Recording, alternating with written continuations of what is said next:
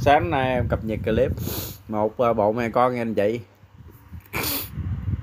mẹ là mẫu busin con là đực bao bê đỏ anh chị đó, siêu lực luôn. Thì con tầm ờ, 9 tháng. Đó, chiều cao thì ờ, tầm mét mốt, mét mười mấy giữa lưng rồi anh chơi đó. Pin lực, chân cẳng cối nha anh chị đó mông đùi nở lên chơi dây đôi. Đó đòn dài. Còn này tầm ờ, 9 tháng hơn à, rồi anh chị ơi. Đó pin lực. Khu giấy hoàn thiện chân móng hoàn thiện đầu trụi luôn. Siêu lực nha anh chị. Đó. Thì anh chị là gần xa thích con bò được uh, ờ, tầm 9 ờ, tháng hơn này thì ba bê đỏ này thì liên hệ số điện thoại em để cho mình quá trời lực anh chị ơi. Đó mẹ thì đã chữa lại tầm à, 7 tháng hơn. Chữa lại ba bê tiếp nha anh chị. Đó chân là móng sò mẹ thì à, à chữa đẻ lứa ba chữa lại lứa tư anh chị sừng nứa đó. Đúng thì đúng chèn bốn chân móng sò đuôi thì một chùm. Đó. Giờ ai mua à, con thì bán con mua mẹ bán mẹ nha anh chị. Đó mẹ thì ờ, uh, và chữa thì bao loại lú nghiêm chỉnh bao ờ, chữa bao khám bao ăn uống bao tật lỗi. Đó đuôi một chùm luôn anh chị quả đen thui.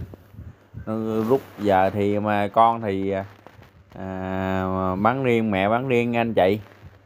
Đó thì anh chị gần xa thích con nào thì liên hệ trao đổi trao đổi mua bán con đó anh chị ơi.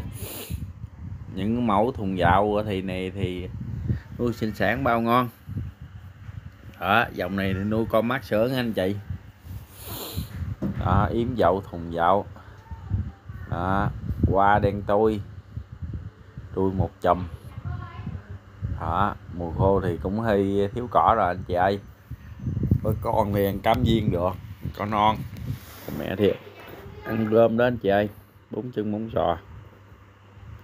Bò thì xế tích nghiêm chỉnh chân móng hoàn thiện. Sừng nứa nha anh chị sừng dài không phải là già nha chị. Tại, ờ, mẫu sừng nứa nó sừng ờ, uh, chĩa lên chĩa thiên là đẹp nha chị. Đó. Thì anh chị gần xa thích con bò này thì liên hệ giá 22 triệu. Anh chị gần xa thích thì liên hệ số điện thoại em để trên màn đó. Còn ở xa gần ờ, phụ phí xe ghép xe anh chị ơi. Còn anh chị thấy giá cả hợp lý thì liên hệ trao đổi thì à, con à, được bê đỏ thì à, tầm 21 triệu nha anh chị. Đó thì anh chị gần xa thích con nào thì mua liên hệ trao đổi mua con đó anh chị ơi. Rồi anh chị thấy clip hay kênh hay cho em được đăng ký chia sẻ em cảm ơn nhiều. Đó. Thì à, à, những dòng bò này thì nuôi sinh sản ngon lành.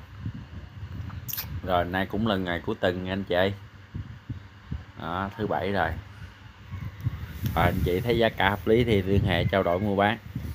Cảm ơn nhiều.